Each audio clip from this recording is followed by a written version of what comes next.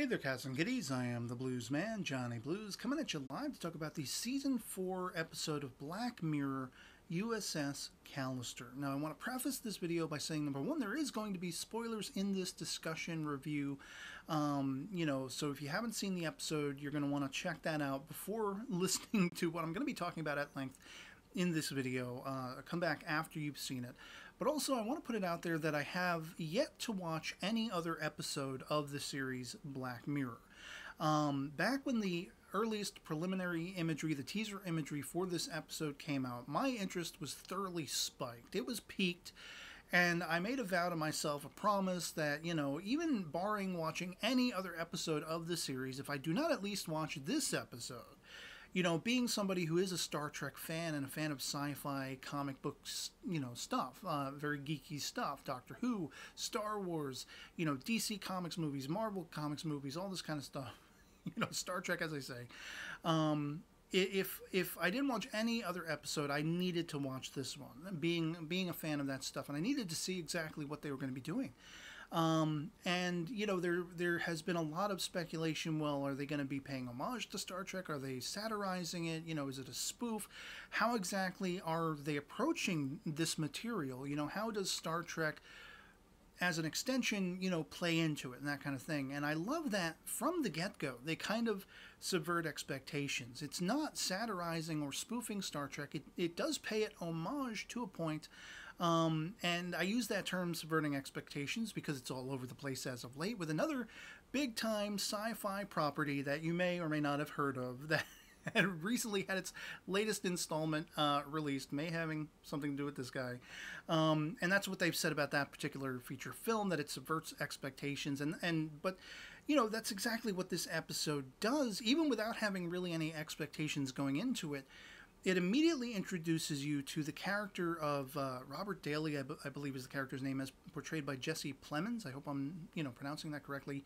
Um, who, for some reason, kind of reminds me of Mickey Dolenz. He, he facially looks similar to Mickey Dolenz from the Monkees, and uh, I think I liked his his portrayal and his characterization that much more for that because there's almost this you know unchecked uh, innocence that that is brought forth and then this comedic aspect like your guard is down because of of the way you know Jesse Plemons happens to look. At least uh, that that was how you know I reacted to him, being completely unfamiliar with any of his work prior to this. Um, I just immediately I, I, found myself endeared to him and, and seeing things from his point of view, being sort of the outcast in this you know production company that has created this MMO game, uh, you know, called Infinity, I believe it was. And it's his creation. He is the coder, he is the creator, but he is kind of, you know, everyone's afterthought within his own company. He should be the head of the company, um, but he's got somebody who is actually serving sort of as his boss. It's supposed to be more his partner. Um, but you know, like he, he's kind of creepy. He's kind of a shut in, a loner, and everything like that. He, he's not very he's kind of socially inept he's not very uh, sociable with other people and you know you kind of you feel for him again there's a disarming quality with just the appearance and and the way the actor jesse plemons uh, characterizes his performance from the get-go. And it subverts the expectations because what you find as the episode unfolds is that man this sucker is sick and twisted and misogynistic and spiteful and hateful and and you know has a bloodlust and and just it's it's insanity and the thing of it is it's ironic because while it does pay homage to Star Trek as a backdrop you know he is somebody who who grew up appreciating reruns of the in Black Mirror, uh, you know, episode equivalent uh, series from the '60s called Space Fleet that had comic books and it was a series on TV. You know, um, it does pay homage to Star Trek along those lines, but I found it somewhat ironical because the story itself highly, highly reminded me of the kinds of brain teasing sci fi, you know, uh, uh, stories that I would see in, in episodes of like The Outer Limits or The Twilight Zone. Or even from growing up when I was in my teens, going to middle school, Star Trek The Next Generation. There was an episode of Star Trek TNG in particular, which involved uh, because I am a Sherlockian, I've read all of the you know Sir Arthur Conan Doyle original Sherlock stories, you know, two or three times. Um, and really, really loved them. Uh, but there was an episode of The Next Generation where Lieutenant Commander Data, the android on board the Enterprise D, and the engineer, the chief engineer, Geordi LaForge, um, had gone into the holodeck in the guises of, you know, Sherlock and Dr. Watson. And they sought to create some sort of, you know, uh, uh, penultimate mystery that Data, being an android who had the super fast calculations in his, you know, uh, electronic brain, positronic brain, and all that kind of stuff, you know, he, he wouldn't so easily crack the code, so to speak. He wouldn't so easily figure out the mystery. It would give him something that would be actually challenging for a change. And in doing so, the way they calibrated the coding, if you will, is it, it answered to that by creating an actually sentient holographic personality in the form of the arch nemesis of Sherlock Holmes, Professor Moriarty. And uh, suddenly the ship was being endangered by this personality come to life. He could, you know, command and control computer algorithms and everything like that, and, and, and made very much the crew of the Starship Enterprise subservient to him and, and uh, endangered them and everything like that. And so it's dealing with all these moralistic and, and technological values and questions and quandaries. Um, as well as really sort of putting under the microscope what is AI, what what is the soul, and and all that kind of stuff. And that's very much this episode is cut from similar cloth in that we're dealing with you know people who exist outside of this MMO in the real world for all intents and purposes, and I guess it's the not too distant future because they have sort of plugins that that you know plug their jack their minds into the virtual environment. It, kind of reminded me as an anime fan, and I mostly cover anime on this channel. Um, but it reminded me of the series Sword Art Online, which was dealing with an MMORPG, where in, in that series you would don a helmet and it would you know siphon your brain into the virtual digital world, which would be very much lifelike, but it was fantasy RPG based. Whereas in this, it's kind of a Mass Effect thing where it's a very futuristic sci-fi game, and they have these little like kernel things that you know go apply to your temple, and you jack in that way, and you interface and interact with this virtual environment. Um, and the character that we're first introduced to, as I say, uh, Robert Daly, I believe, is the character's name, as portrayed by Jesse Plemons. You know, he is the creator of this, um, and he's created the entirety of the code and everything like that. And uh, but he is the afterthought in his company. So where he where he can't vocalize his frustrations in the real world and everything like that, he has created his own little bubble makeup of this game, this MMO game Infinity that he created and spearheaded. And into it, using this technology that was kind of a little bit questionable to me um, because it very much applied, you know, utilizing the DNA of, of people rather than you would think sort of like memories or, or the mind, you know, that kind of thing. Uh, although I guess arguably there is a, an ingrained sense of, you know, cognizance and being and, and what makes up a person looking at their DNA. Um, I just thought it would it might have been more interesting if you know people had jacked into this game and he would usurp their mentalities, kind of sort of a la Total Total Recall or something like that.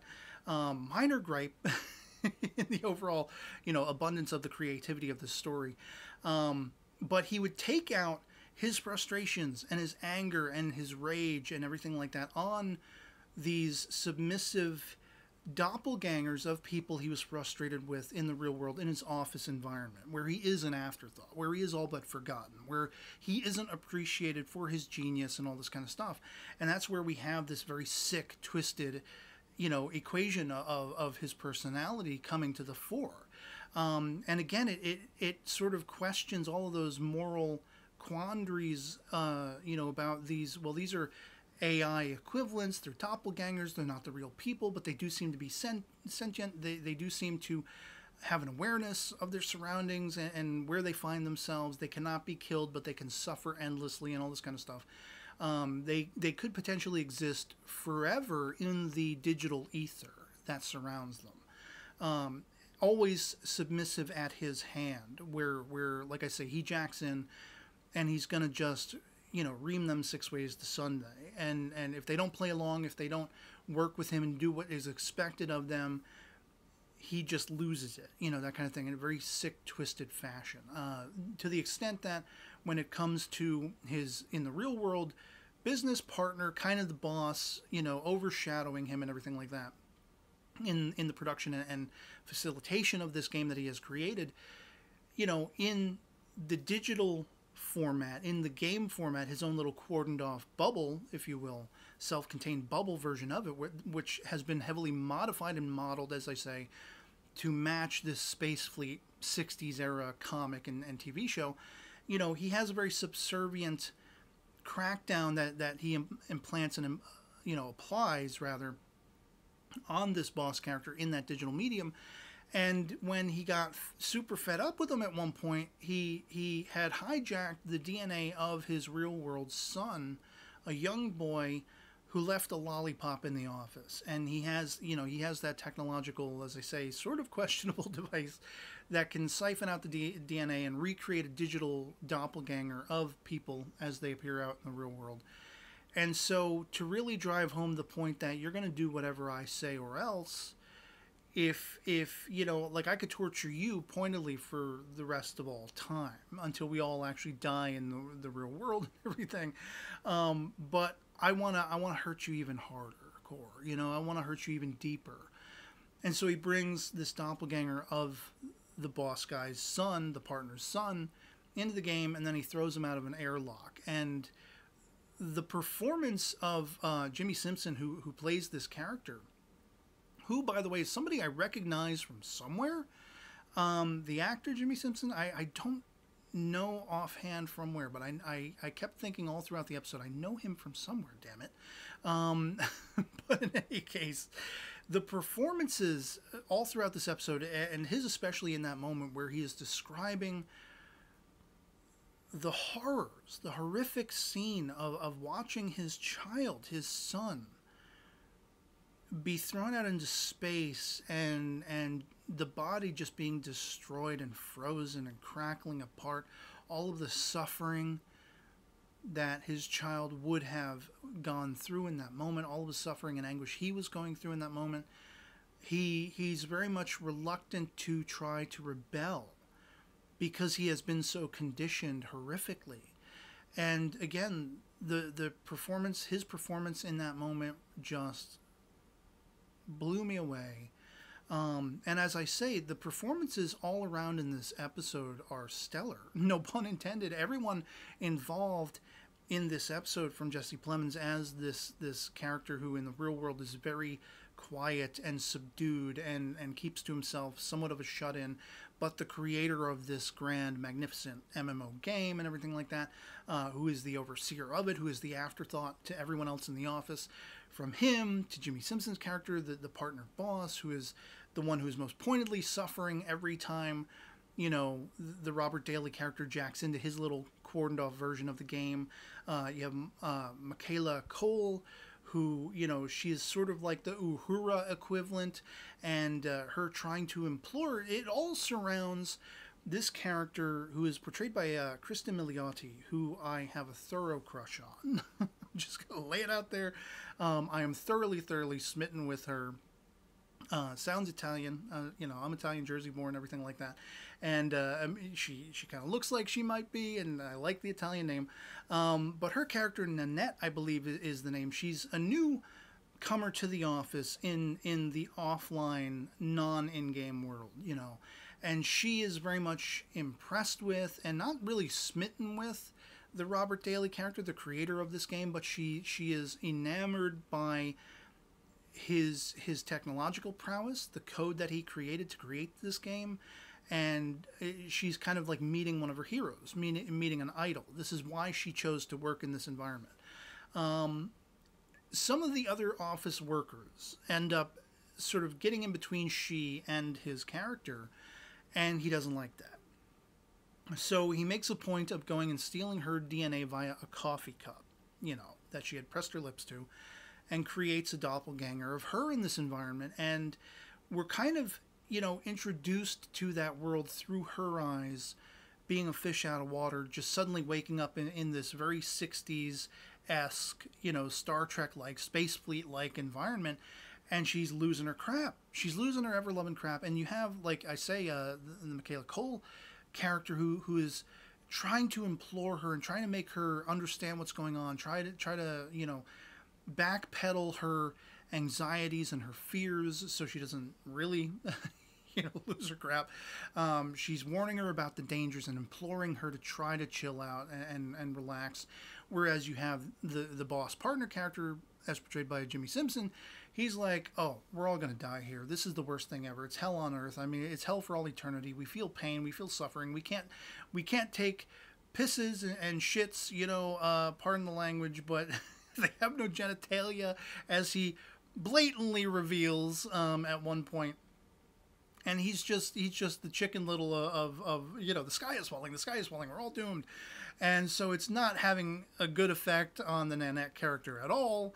And uh, what i really loved uh, you know again to, to say the performances all throughout you even have like this character um, who is like the villain and it's somebody else that this you know robert daly knows somewhere along the way um, out in the real world. He, you know, he took like an office worker and, and made her a giant alien creature on a planet that has to be destroyed. You know, and this villain character uh, has to be very much the mustache twirling '60s equivalent of a villain, like ha ha ha ha ha, I'll rule all. You know, I'll destroy you all, and all this stuff.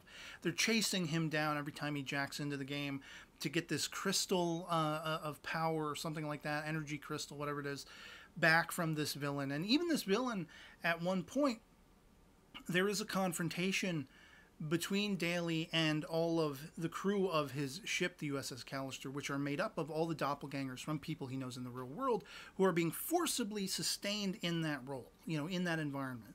Uh, they they act accordingly to his wishes or they suffer for it.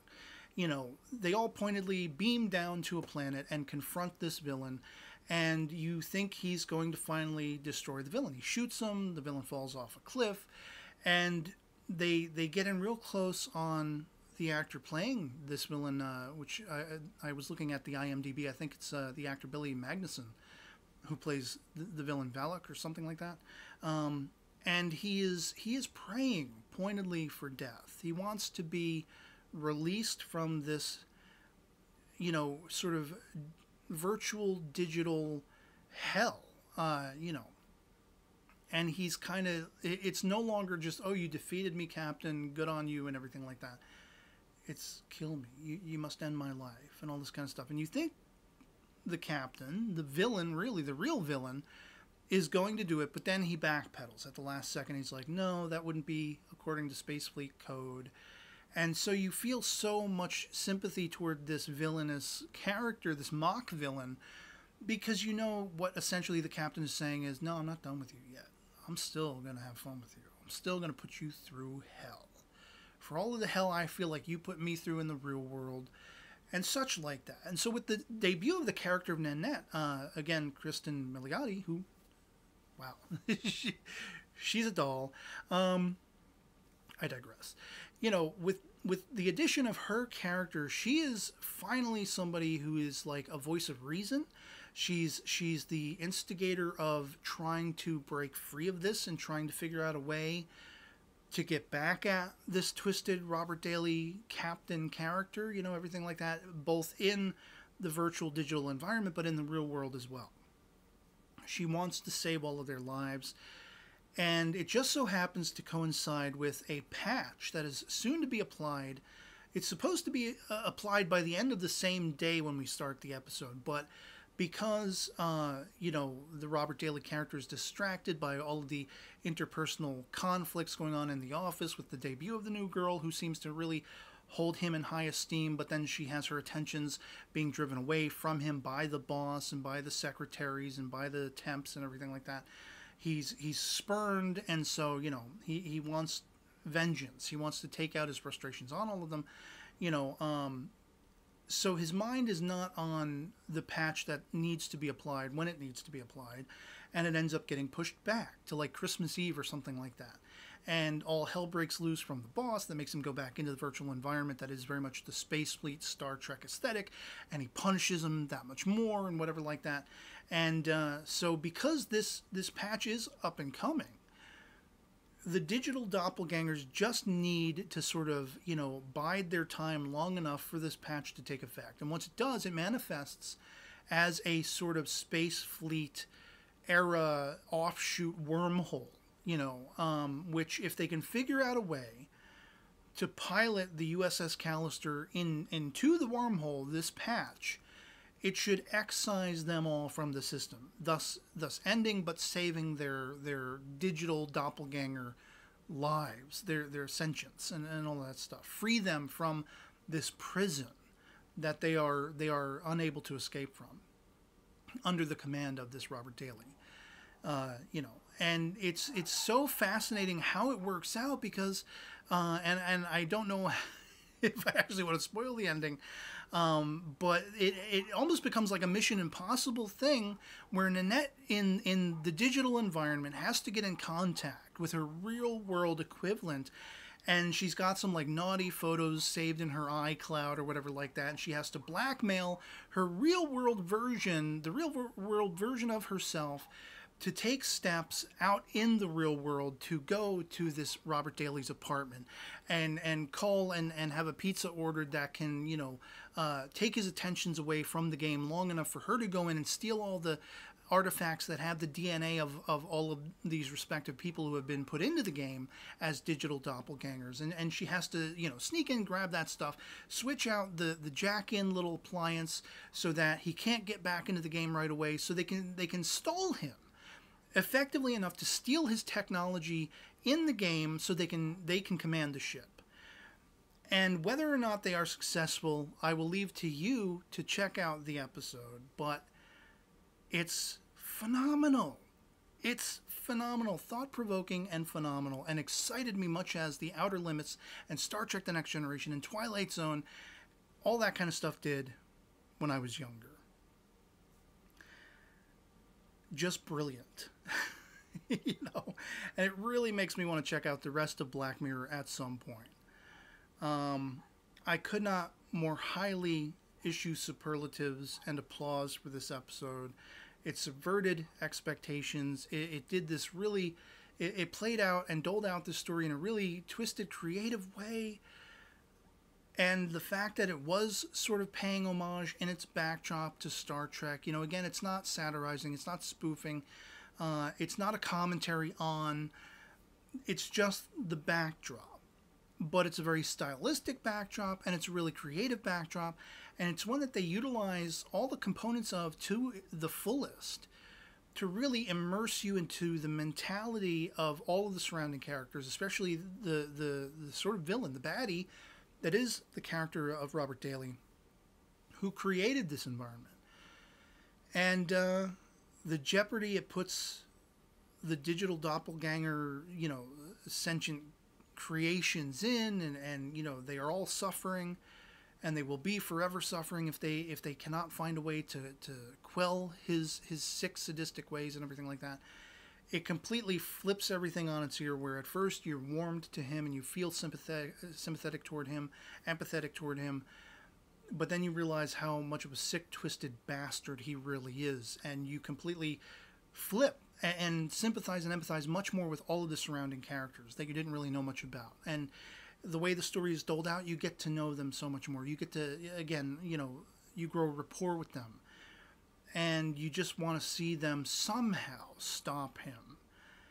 And they do manage to, to, to bring about a twist that not only plays into whether or not they are capable of freeing themselves, but also that might or might not have ramifications on the Robert Daly character in the real world as well.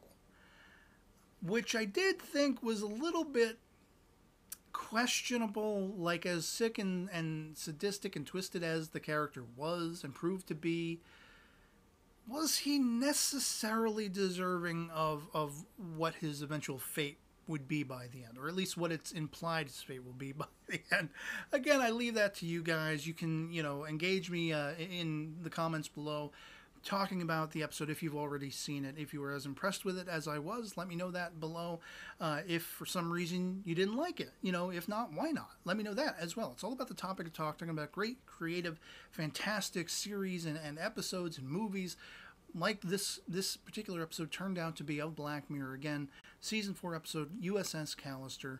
Uh, I was just thoroughly rocked by it and entertained by it, and I loved all the twists and turns, and uh, thoroughly, thoroughly enamored with Cristin Milioti, as I say. you know, once again, and uh, so yeah, I'd love to hear from you what you thought of this episode. If you've seen it, if you haven't already, and you're still watching this video, what's wrong with you? You, you should have, you know, gone and watched it first. Um, but you know, hopefully, this will give you uh, uh, some extra, you know things to think about it, things to consider about it, and, and, maybe things that you didn't necessarily think about of your own accord, or maybe you did. And let's have a discussion about that in the comments below. So yeah, otherwise it'll be pretty much it for me on this. Hope this video finds you well. Live long and prosper. Peace. All of that good stuff. And I'll catch you later. Peace.